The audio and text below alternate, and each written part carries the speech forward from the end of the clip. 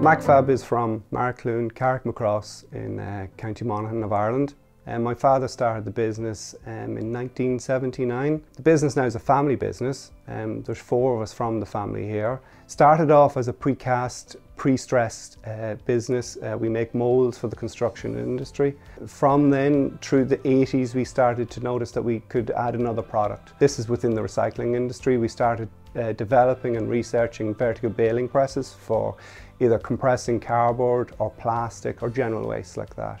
So we developed that product and now that product actually is 80% of the business um, and has grown ever since. So the business now as we are, we've grown, we've doubled the size of the factory because of the recycling industry.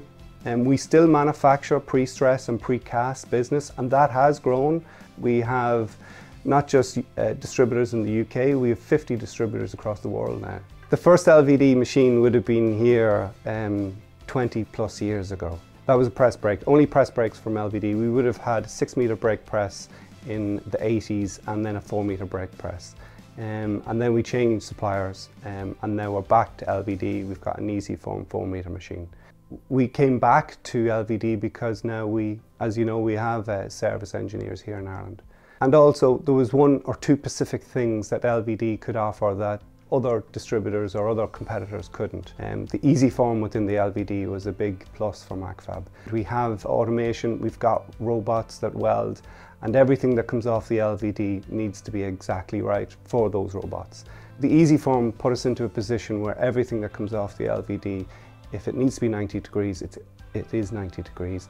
Um, and across the full length of the product. Um, so then when we go into the next process, into the robotic welding, the robot will weld it successfully. Another thing unique to the brake press is uh, we ordered two screens, um, more so to help with our process.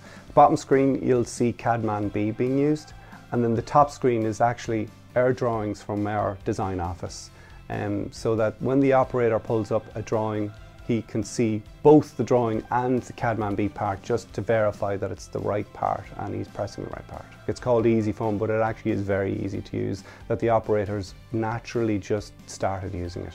So everything we press uh, is now pressed with the Easyform. Um, so it, it, when a new piece of equipment or automated equipment comes in, a lot of operators might not use it because it's slower. But that's not the case with Easyform. It's seamless, it works straight away and you don't even know it's working in the background. Um, the machine has been very successful for us. I can see us getting another brake press from LVD. Um, the one we have is been working so well and it has added great value to the process. Um, so yeah, I can see LVD and MacFab working together for a good, good long time.